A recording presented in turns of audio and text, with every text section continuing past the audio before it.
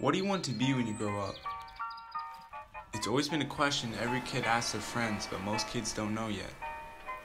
I want to become a doctor, an NFL player, a professional skateboarder. To me, ever since I was 13 years old, the answer was clear. I want to become a filmmaker.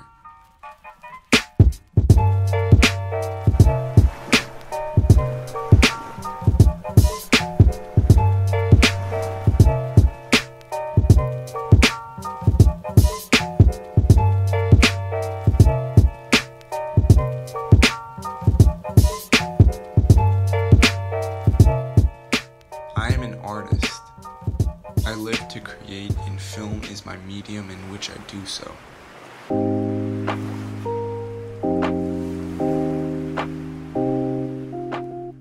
I love it because it allows me to express any mood that I feel. William James said, Seek out that attribute that makes you feel most deeply and vitally alive. When you have found it, follow it.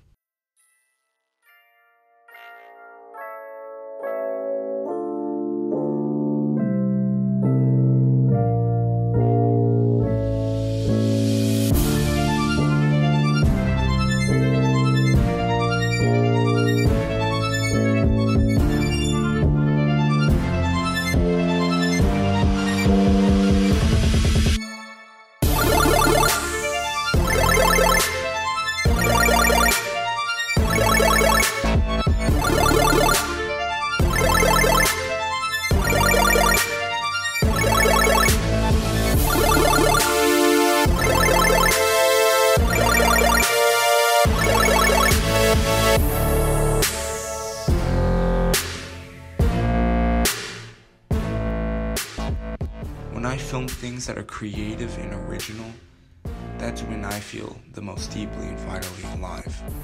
Since I was 13, I've created a page of notes where I've typed down the thoughts and ideas rushing through my mind.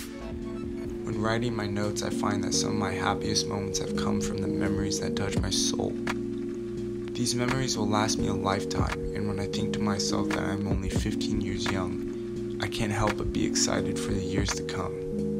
But I know that nothing in this world is guaranteed. But if you realize this, you start to live your life the way you desire. Because your life is being written every second.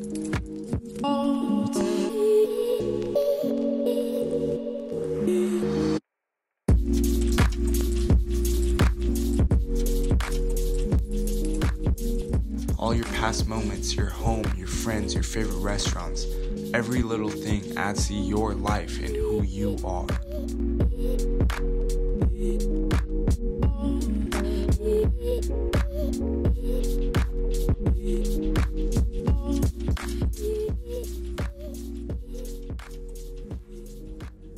So when you die, all your materialistic items will go away. The only things you are left with is what you did in your life, what memories you made, what friends you made, and what you learned on your time on earth.